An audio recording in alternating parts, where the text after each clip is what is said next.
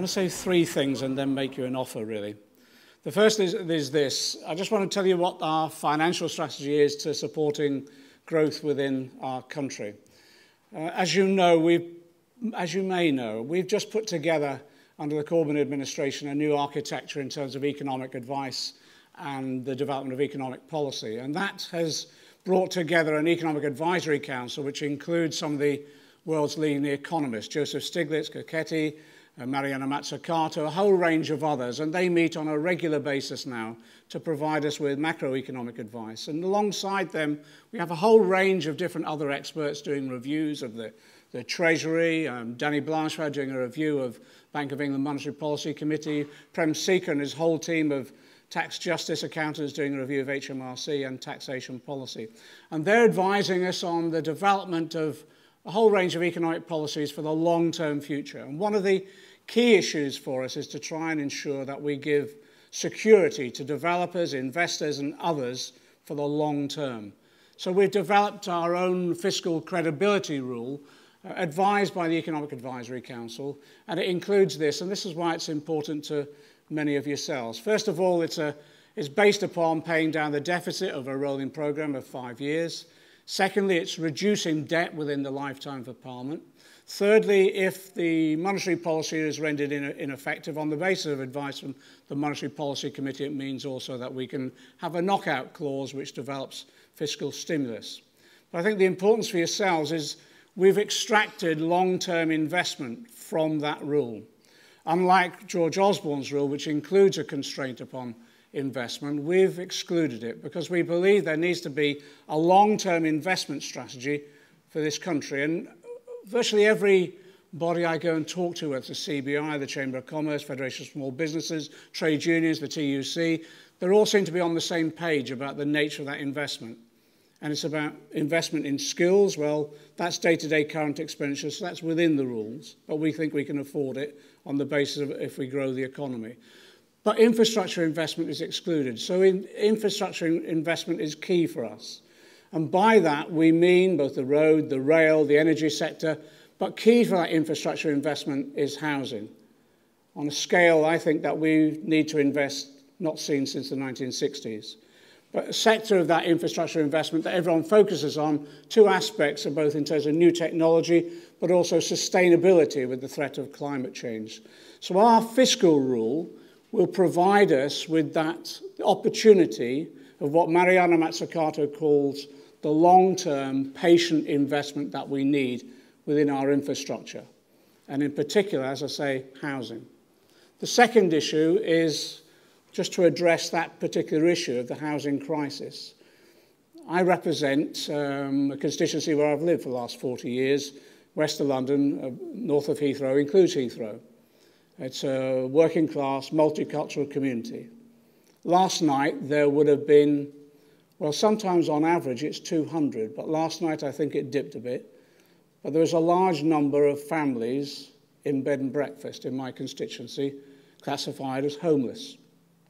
I will also have people sleeping along the canal, in the parks, in tents, under hedges, and in shop doorways.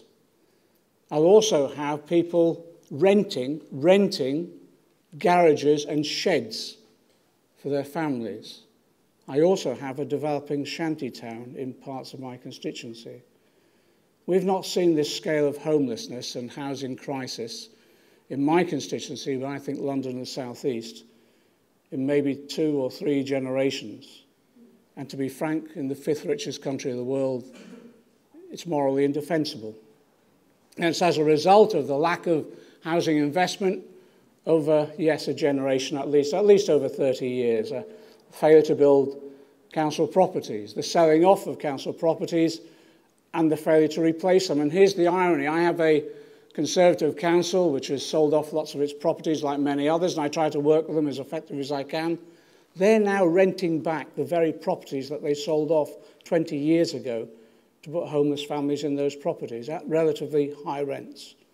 And that's the other thing. The rents in my area now are between 12 and 1600 pounds a month. So people are in work, but they're working all hours God send to keep a roof over their heads. And we've reinvented the back-to-back. We've reinvented the back-to-back. -back. Fronts of properties being rented to one family and the back of a property being rented to another. And it's all because of the failure of housing supply. The third issue is actually, in terms of developmental land in my area, land is becoming available. We've had major sites become available. But the contrast is this, and this is why um, I was pleased to be invited uh, by Martin Evans and you and I Think, because I've worked with the Cathedral Group in advance of their merger into you and I Think over the last decade or so.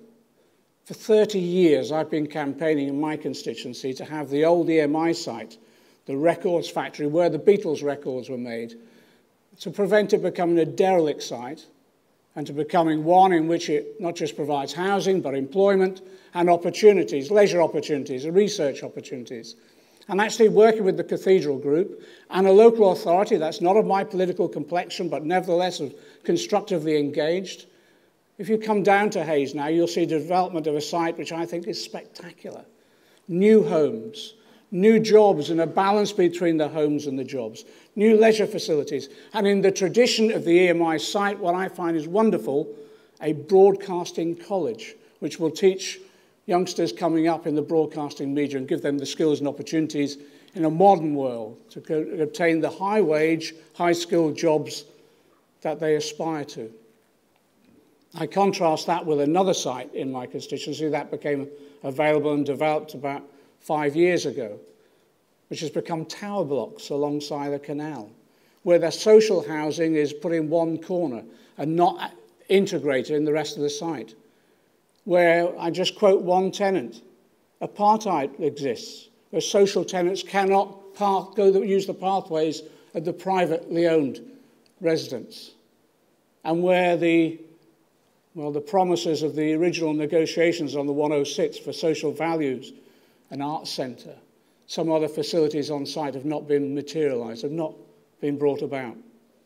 And again, I just contrast the two the constructive engagement, a company coming along, listening to the local people, learning the history of the site, developing local community ideas, what's on site, and then putting that together in a viable economic framework, which was actually delivering for my community.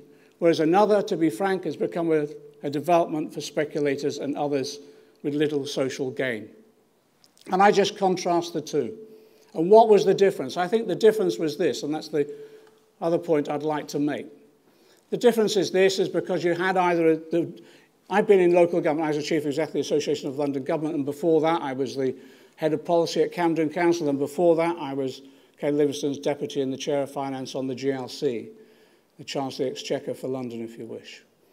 Now, my experience is that often you'll find there's a creative developer that can bring along a local authority and actually engage and ensure that there's a direction and successful development. Or you can have a local authority that again can be creative and successful, bringing along a developer, and actually you can then harness the resources of one or the other to bring the others to a suitable conclusion and successful.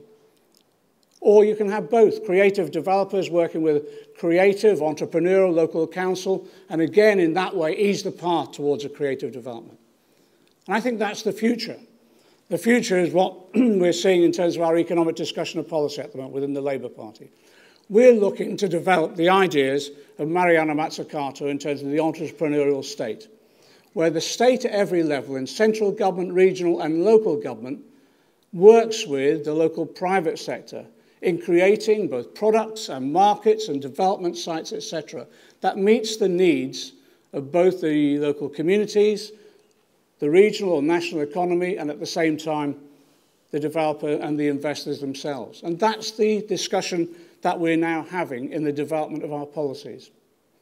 Nowhere more is it needed, as far as I can see, is in the housing market itself, because the housing crisis that we face at the moment. And it's a crisis of not just of the failure to build council homes or housing associations and just selling them off as well. It's also a crisis of home ownership. That's why we've put into government now, specifically, sorry, into Shadow Cabinet now, a, a Shadow Secretary of State, John Healey, specifically with the responsibility for housing.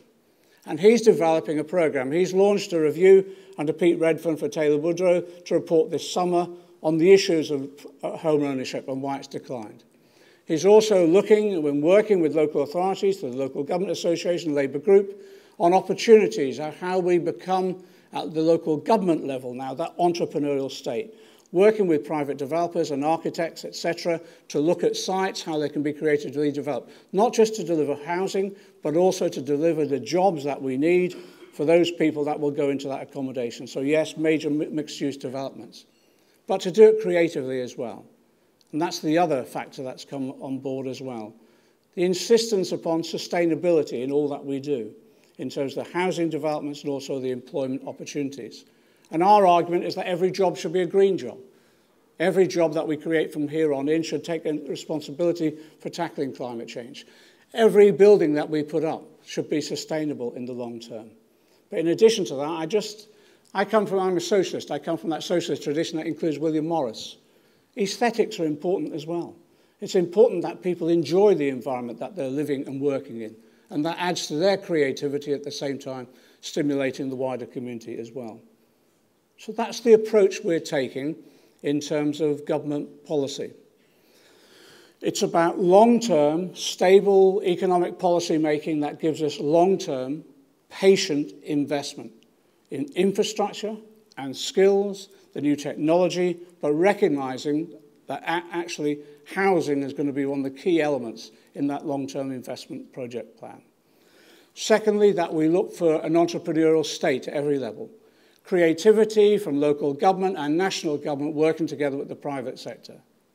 And then thirdly, making sure that actually it's long-term objectives, which is ensuring we invest in infrastructure that looks at new technology, that also looks at sustainability, and yes, tries to make life that just a bit more and you won't hear these words from a politician very often, beautiful and enjoyable. So that's the direction of policy that we're undertaking. There are real challenges of how we raise those resources. So in the review of the tax base, I don't want to frighten you, but we're looking at a whole range of opportunities that we'll consult you on as well. I'm interested in land valuation tax, land value tax. Usually we have to lock the door at this point in time if there are developers present. But I actually think there's ideas like that that we need to look at seriously. But we wouldn't move in that direction unless we were, unless we were able to take people with us.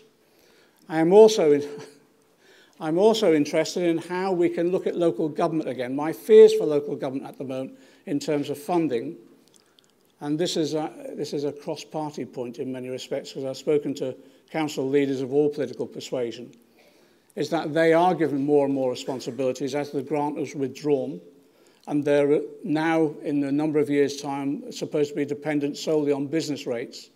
Whilst at the same time, and I support it in the, bu the budget, large numbers of small businesses are being exempted from business rates. So we have a strategy from central government at the moment that actually is loading more responsibilities onto local government, whilst at the same time withdrawing the resources that they need to actually fulfill those responsibilities. And again, we need a serious discussion about the funding of local government for the future and the tax base that local government will have in the future as well, and their abilities to be creative in terms of how they themselves borrow and generate income to ensure long-term patient stable investment within their local communities. Finally, let me say this because I want to open up to questions. Um, this is the challenge really. In every area of policy now, we're at that, we've been, the Corbyn, Jeremy Corbyn was elected six months ago. Um, 10 months ago, I was looking forward to a slow drift into retirement and sitting at the back of halls of Labour Party conferences moaning that they never followed my advice. That's why we're in the mess we are.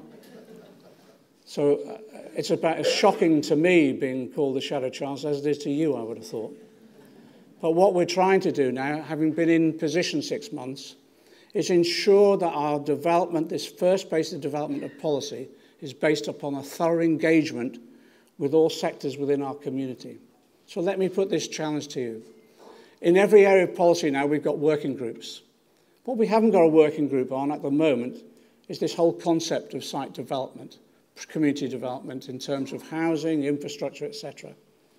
If any of you are interested in participating in a group of that sort, let me know. Let me know via Martin, because I'll convene that discussion to see how we go forward. We're desperate for ideas. We're desperate for harnessing the creativity of our population, of our communities. And in that way, we feel we can prepare for government, almost a renaissance in terms of political ideas as we go into government, and just get some excitement again in the politics of this country that goes beyond just rows about whether we're in or out or who said what to whom and who's plotting the downfall of whom. I think there's an opportunity here. In, as we're in opposition, we've got four years in the development of these policies, there's an opportunity for the Labour Party to start listening again and engaging in a more thorough way than we've ever done before. Thanks a lot.